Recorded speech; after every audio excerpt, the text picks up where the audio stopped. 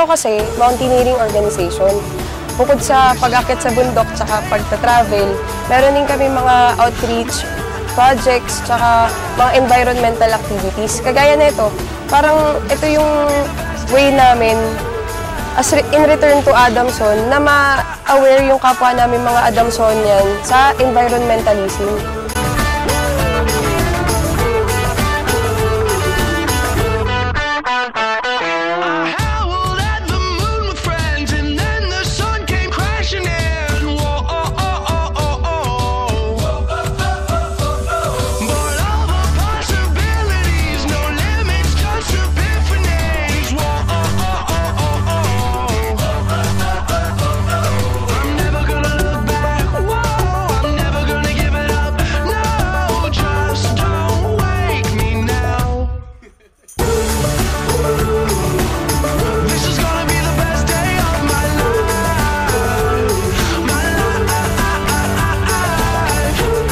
Meron na kami nagawang ganito dati, pero ngayon, i-assure namin na bawat member ng organization may cooperate na mapagpatuloy pa itong mga ganito, tsaka mas madagdagan pa.